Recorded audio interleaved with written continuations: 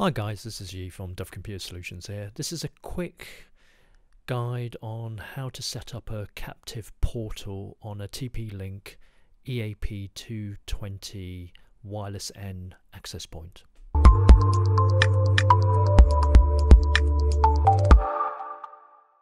So let's just jump straight into the TP-Link EAP220 dashboard. We click on the wireless tab and then from there we click on the portal tab.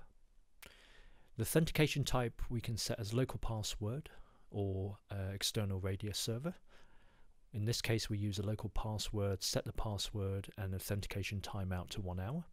We can add uh, our company name and terms and conditions and once we've done that we can save the settings go into the wireless settings select the band that we want to enable the portal on. So we just tick the portal setting, save that, and there we go.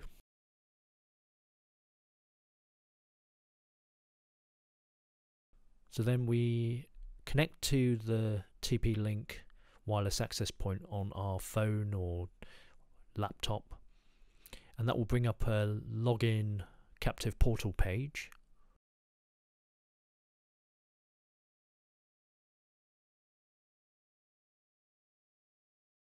So from here we just enter the preset password on the captive portal.